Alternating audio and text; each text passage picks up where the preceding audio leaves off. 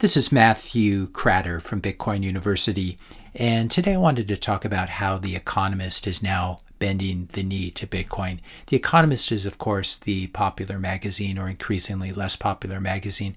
They've had a pretty bad track record over the last 20 years predicting investment trends, and they've been especially bad about Bitcoin. Here's an article from November of 2013 talking about the Bitcoin bubble when Bitcoin was just at $1,000.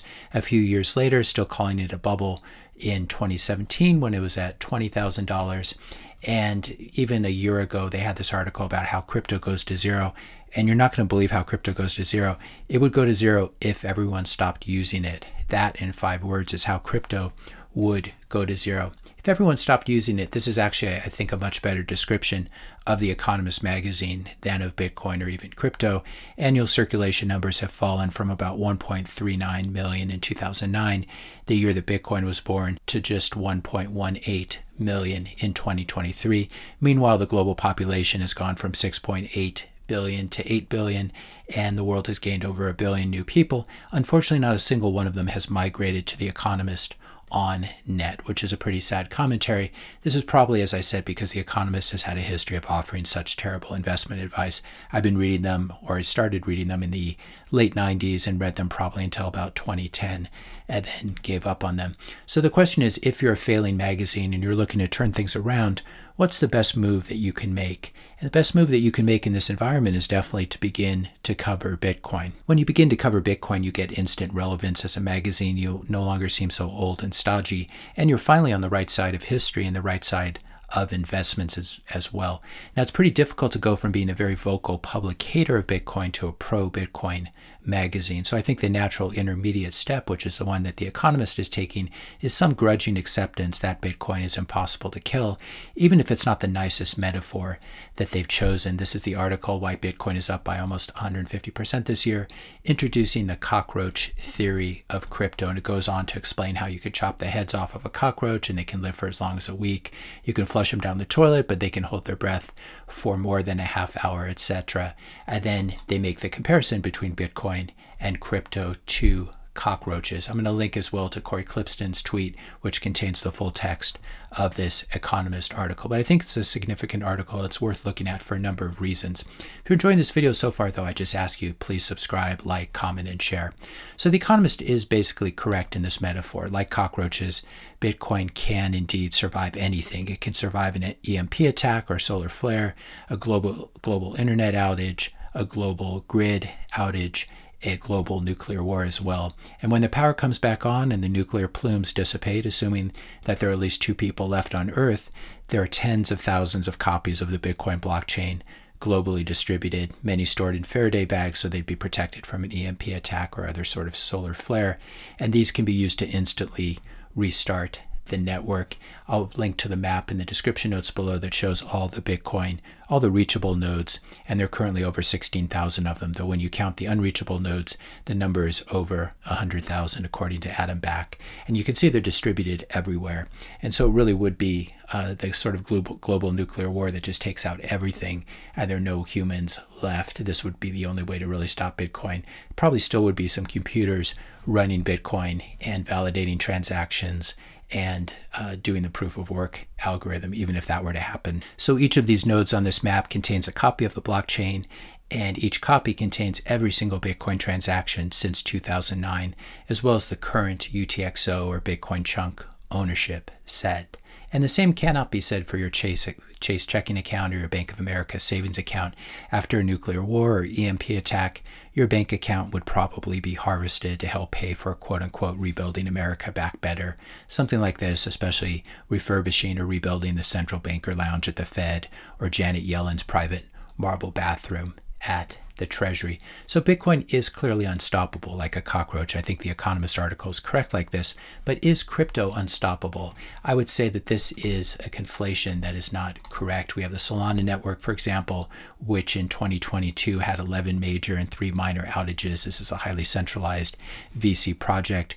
We have USDT, Tether, which is the third most popular cryptocurrency by market cap. It's a US dollar stablecoin, and it can easily be frozen by Tether, by the centralized authority. We have the DAO hack back with Ethereum when the Ethereum community and basically Vitalik decided to hard fork the blockchain to restore all the funds to a smart contract that got hacked. Vitalik said Ethereum did a surgical irregular state change.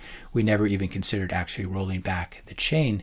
But what he did, in fact, is he just hard forked Ethereum in order to return money to his buddies, the Ethereum whales. So this is crypto. These are not exactly cockroach projects. They can be modified by a small group of insiders. And Bitcoin is very, very different from crypto. Bitcoin is a digital commodity. It's an asset without an issuer. There's no Ethereum Foundation behind it or Cardano Foundation, and there's no living founder who directs the roadmap and development. Unlike Bitcoin, behind almost every crypto project is a small group of insiders who printed up free money for themselves in order to dump it on naive retail investors or use it in a proof of stake system that they could use to control the entire network. And I'll link below, you've seen this many times if you've been watching this channel. The red or pink parts show the initial allocation to insiders, which means that all these cryptocurrencies are really compromised from the beginning. They can't be neutral when they're issued by a centralized group that in, in, itself has awarded itself many coins to begin with. I would say the other significant thing from this Economist article is they're basically walking back their claims that they've been making really since at least 2013 that Bitcoin was a bubble. Here's the quote from the article. The second reason is that with each boom and bust cycle, it becomes clear that crypto, and they really do mean Bitcoin, as I'm going to show, crypto is not a bubble like tulip mania in the 1630s or the craze for beanie babies in the 1990s. Although Bitcoin is a volatile asset, its price history looks more like a mountain range than a single peak. Here's the log chart of Bitcoin, and I think that is correct. It's a mountain range where the mountains are constantly getting larger on the right hand side. But when you compare it to crypto, here's a chart of HEX denominated in US dollars. Here's a chart of Litecoin denominated in Bitcoin. These do not look anywhere the same.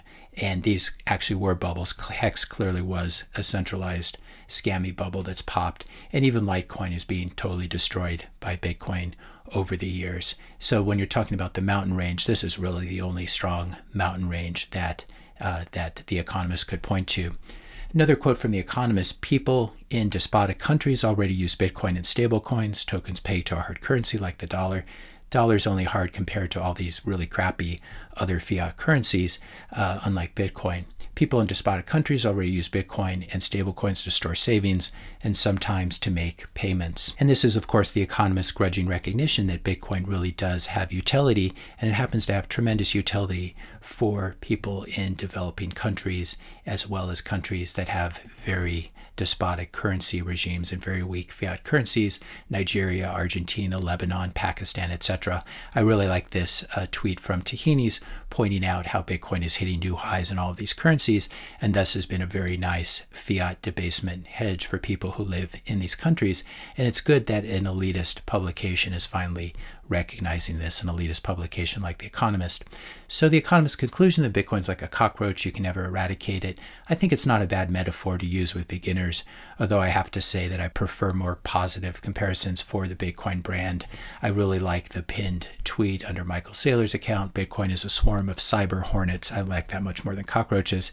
It's a swarm of cyber hornets serving the goddess of wisdom feeding on the fire of truth, exponentially growing ever smarter, faster, and stronger behind a wall of encrypted energy. And of course, he's talking about Bitcoin mining here. The swarm of cyber hornets. One version of this is it's the ASICs, it's the mining rigs buzzing away, but it's also the cyber hornets, the Bitcoin maxis on Twitter and elsewhere who help to defend the protocol. I also like how Michael Saylor in his Christmas address here, which I'll link to, it's a pretty nice meme, calls Bitcoin a shining city in cyberspace. I think these are much better metaphors than calling Bitcoin a cockroach though there is a time and place for each different metaphor. So, what's the conclusion? I would say that everyone, even and especially Bitcoin's enemies like The Economist, will end up bending the knee to Bitcoin. Many people will hold their fiat and crypto all the way down to zero, thus helpfully removing themselves from the economic and genetic fitness pool. However, more open minded people will eventually embrace Bitcoin, like The Economist, however grudgingly. Unless you really, really like losing and losing and losing, you should come and join us on the winning team because there's really only Bitcoin. There is no second best. If you enjoyed this video, be sure to hit that subscribe and like buttons. Hit the notification bell if you want to be notified when I publish my next video. And let me know your questions and comments in the comment section below. Thanks a lot for watching, and I'll see you in the next video.